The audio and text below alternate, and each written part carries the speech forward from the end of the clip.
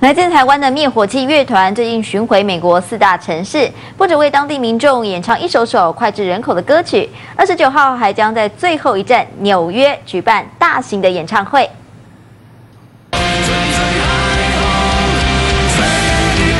这首《长途夜车》是灭火器乐团的最新单曲，让无数在国外打拼的台湾人听了感觉到自己的挣扎和心酸。成千上百的网络留言完全浸泡在泄洪般的泪水里，因此灭火器乐团这次来美，特别带着这首歌要帮台美人加油打气，鼓励所有跟我们一样在世界各地打拼的台湾朋友。我们想把故乡的声音带到你的身边，然后呃为你加油打气，然后希望在。呃，追逐梦想、追逐实践自我的道路上，呃，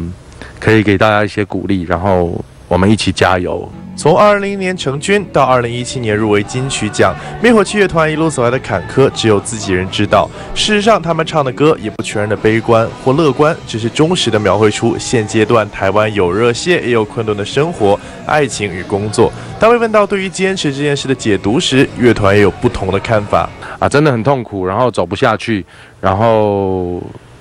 很不轻松的时候，其实我们也都会建议。去找你喜欢做的事情，其实不一定要坚持，在过程当中就享受这个过程，然后去努力过自己当下的生活，我觉得是比较好的建议。因为，呃，其实每一条路都是有它的精彩，有它的可能性的。甚至对喜爱唱歌的东森新人王选手，灭火器乐团也发表自己的独到看法，并且祝福选手唱出最好的自己，不要把这件事想得太严肃。那如果有什么啊，比如说我知道东升最近有举办类似的这个呃节目，那我觉得那这样一个开放性的舞台，大家都可以。